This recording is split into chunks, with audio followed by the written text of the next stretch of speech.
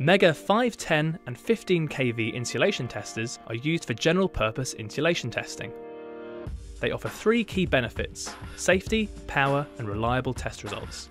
The MIT 515 is an entry level 5 kV instrument, but it does not compromise on safety or performance. The others in the range all have diagnostic tests with result storage and download to Megger software.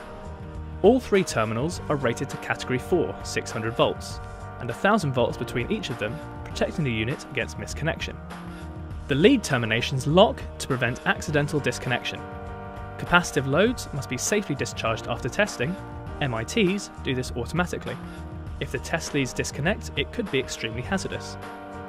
The guard terminal ensures you measure the insulation that you want to measure.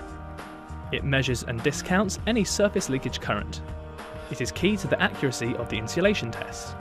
That's why Megger's guard terminal performance is specified and offers unmatched accuracy. With a unique dual case design, the tough outer case protects a fire retardant inner case for extra reassurance. The MIT range gives 5% accuracy to at least 1 teraohm, the sort of value expected in substations. Stable readings are essential, they can be affected by electrical noise. The Megger insulation testers have high noise immunity for use in power environments.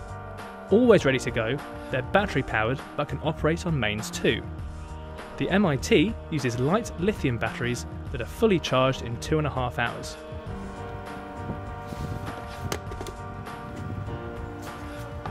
Like all Megger instruments, the MITs are designed to be tough.